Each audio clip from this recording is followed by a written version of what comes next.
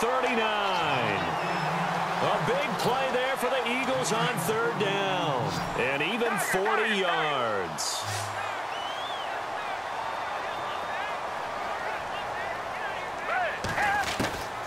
Now Foles. Steps away to his left. Able to find a lot of empty space there, picking up the first down at a 21-yard gain. And him running the football is not something that defenses spend a lot of time preparing for. But this guy has a survival instinct and a knack for knowing when exactly to do it. They go play action here on first down. And no escaping this time as he'll go down. They got him for a sack. Aaron Donald in there to pick up his second sack now of the afternoon. Play action, they'll throw. And incomplete there. A nice hit. Jars the ball free and brings up third down. I know you felt like saying touchdown there, didn't you, partner? That looked like a sure six points, but the contact jarred it free. Got his hands on it, could not hold on through the end of the play.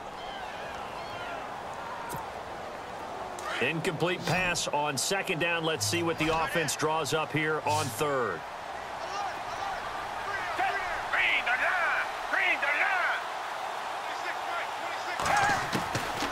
Here's Foles.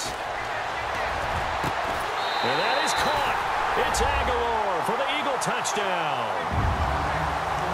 Nelson Agholor, 25 yards for the touchdown. And the Eagles drive right down the field and score on the opening drive. And his kick is no good. An inauspicious start here kicking-wise as this one stays a 6-0 game.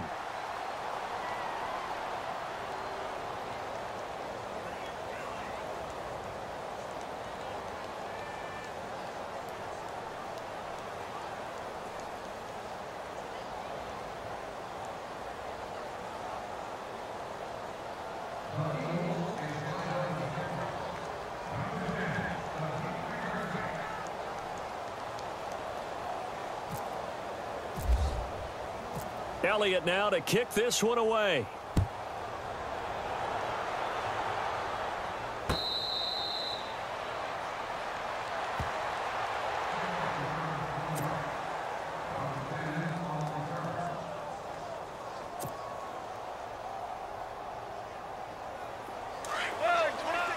And the D looking like they may blitz.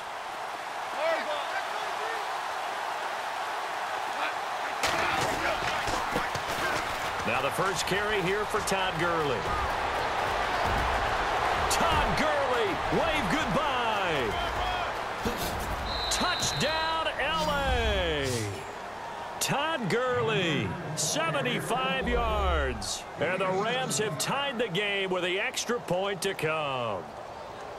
And with his speed, if he just finds the slightest crease, he can take it the distance like he did there. How about the leverage up front? Offensive line out leveraging the defensive front to create that space, that crease that he was looking for. And once he hits open field, he's going to be very difficult to catch and corral.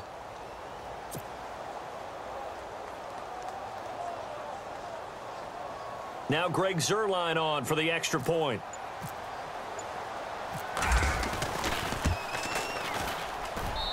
And his kick is right through.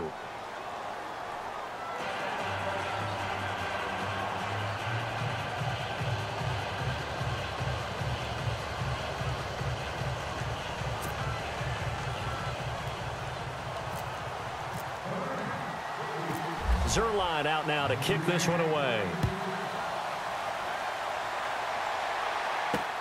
Fielded about a yard deep. And he'll take it back to about the 19-yard line. Eagles will take over here in just a second on offense. And Charles, as you look back to the Super Bowl title run that they just had, what were some of the moves that made that possible? I'll keep it on the offensive side of the ball because I thought their front office did a fantastic job of having answers in case things happen. Carson Wentz goes out. Well, they had signed Nick Foles to back him up. That worked out pretty well. Getting Alshon Jeffery as a weapon outside to help them in the passing game. Darren Sproles gets hurt at running back. Corey Clement was signed as an undrafted free agent. He filled in well, and they traded for Jay Ajayi. And how about Jason Peters losing the all-world left tackle?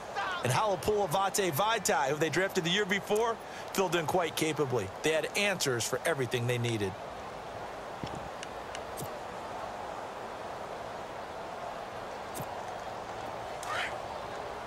The defensive line disperses a little bit here, maybe expecting a pass. Here's a play fake as they set up to throw. Gonna look deep for Jeffery. So the long attempt falls innocently to the ground, and it brings up third. Sure, that pass was incomplete as they made an attempt to get a big one downfield. But that's okay because the second part of that is if you don't get the completion, at least you've told the defense you're trying to stretch them out a little bit, and they may have to change accordingly.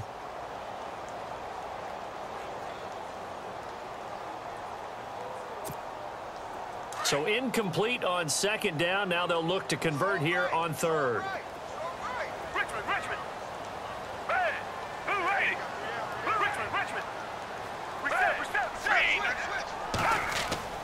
Off the play fake, he'll look to throw.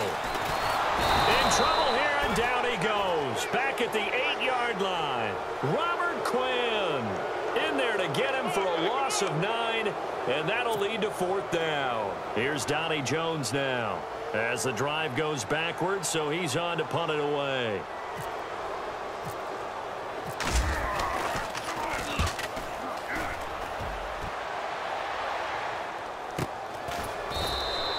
47 yards on the punt that time, just one yard on the return. And out will come the offense as they take over. The Rams offense now, they get set and head back onto the field. And they hit the home run last drive. One play on the ground all the way to the house. Now the defense, maybe they're expecting a run here. Partner, I love your description because when we talk about hitting the home run, we're usually thinking about a passing play, aren't we? Something in the air, deep ball. But how about them just taking it big-time jaunt now if you're coming back out, now they've established this run game, the play-action pass could very well be open. He got 29 yards that time. When I watched Jared Goff on tape at Cal, I saw a guy who wasn't just a dart thrower. You know, a lot of people said, ah, oh, he's perfect for the West Coast offense. I always thought he could do a little bit more, and that was the reason why. He can push it downfield. He has a good, strong arm. Back live now to begin the second quarter with Charles Davis, Brandon Gaudin. It's the Rams with a football to get us going, and they've got it here with a first down.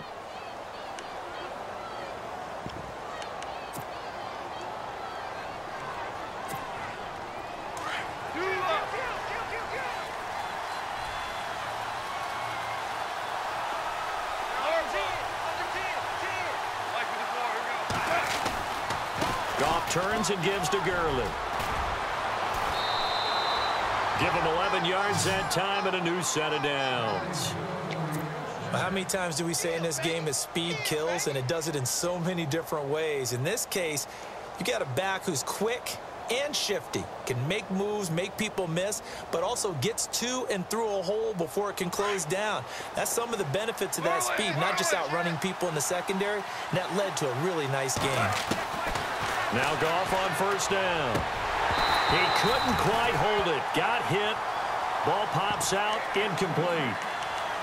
That's very well timed there defensively because it's not a bad throw, but the collision came at the exact time he was reaching to bring in the football. Really, really well done. Decent offense, just better defense. I think you're right.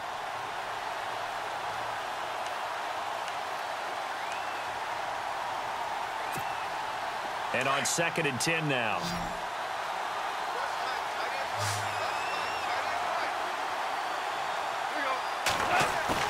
They go play action with Gurley. Now Goff. Flushed out right. And he will be brought down at about the six-yard line. Opted to run for it. The decision a good one. Picking up the first, getting 14 yards on the scramble.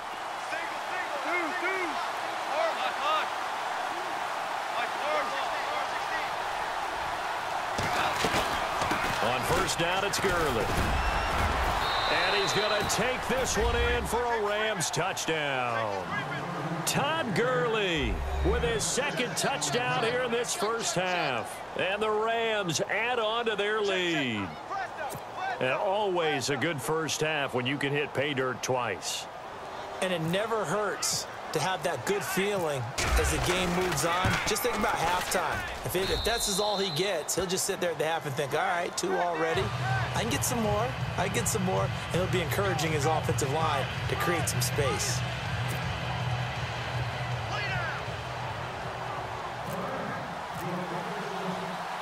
Zuerlein out now to kick this one away. This one fielded at the five. The Eagles offense now gets set to head back onto the field. And on the last go-around, they really couldn't get anything going. They had to punt from deep inside their own territory, which means you're going to lose the field position battle as a general rule. What they're looking for now is a little more consistency, move the ball at least a few times on offense, get a couple of first downs, and hopefully flip the field. Yeah, just something to build off of. That's what they're looking for here. On the pressure from the Rams defense. Ethan Westbrooks able to use that strength and get him for a loss of two. Back to throw here. And complete to Zach Ertz. And he's brought down after a good game. 23 yards on the play. And there's a completion to the tight end. And look at the size of these players nowadays. At that spot, 6'4", 6'5", and up. A lot of guys used to be basketball players. Somehow came back to football. That's really good for the game of football. You're getting better athleticism, great hand-eye coordination, guys who know how to control their bodies when they run their routes. So they took a shot on first down but couldn't connect. Fans do love the long ball, don't they? And he already found his guy once. Tried to give him another chance there, didn't he? Yeah, he did. Couldn't connect, but as you alluded to, he does have that touchdown from earlier trying to keep him in the rhythm. So the incomplete pass brings up second down. And they're going to go soft on the corners. Here's Ajayi. And hard running's going to get him over the 40 to the 42. Call it a gain of four, and it'll leave him with a third down and six to go. If you're a football guy, that's a pretty run because everyone is in sync right there. Obviously, the guy carrying the ball, but how about the people up front? Leverage, athleticism, they created some nice space for him. They dump off underneath to Ajayi. And he's going to have the first down at about the 38. They call it a gain of 19, and it moves the chains. Everyone's got to be able to catch the football. Doesn't matter what position you play, but if you're on offense, be aware a ball may come your way.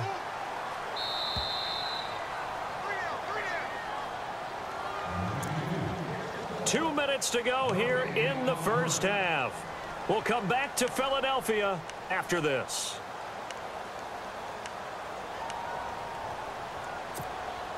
So the offense has it first and 10. So the D-line's going to spread out. This is it at the 38. Credit him with a one-yard gain there to make it second and nine. Nice job by that defensive front there to hold him to a short gain on first down. Well played, I must say. Yeah, only getting one yard. There was no room to run. They'll look to throw. Eluding the pressure right. And he'll go down here at the 35-yard line.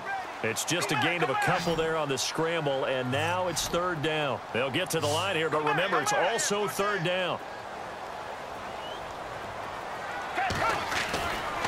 They'll look to throw. Airing it out deep for Smith. He rifles one that's intercepted. John Johnson with the INT. And a short return will be stopped inside the 10 at the 8-yard line. Well, I tell you, Brandon, this